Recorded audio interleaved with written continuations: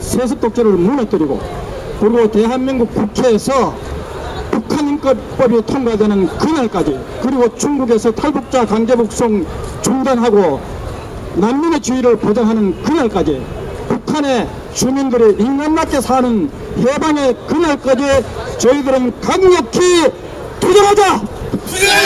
투쟁하자! 투쟁하자! 감사합니다. 이 북한 인권이 예, 얼마나 열악한가를 우리 국민들이 많이 알고 북한에 대한 관심을 많이 갖는 계기를 좀 널리 알리려고 이런 이제 이동 전시관을 마련했죠.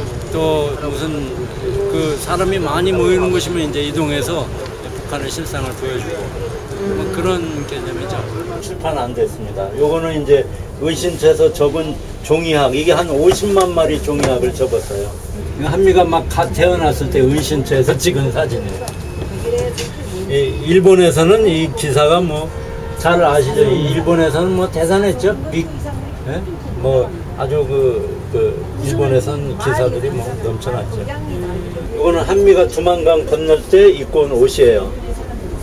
한겨울에 왔는데 이 아주 저다 헤어진 옷 저, 저런 걸 입고 왔죠. 이건 북한 주민이 이제 구원을 요청하는 편지, 옷 편지 이겁니다. 이걸 확대한 게 이게 옷이고. 이거는 구원 요청 편지들이에요. 전부 다 오리지널입니다 여기. 네, 그립니다. 요거는 이제 당원증이라고. 당, 당황증. 예. 요거 요거 이쪽은 뭐예요? 아, 요, 요 일반 시민들의 그 시민증. 음. 우리로 말하자면 주민- 시민증, 주민등록증. 음. 신기하다.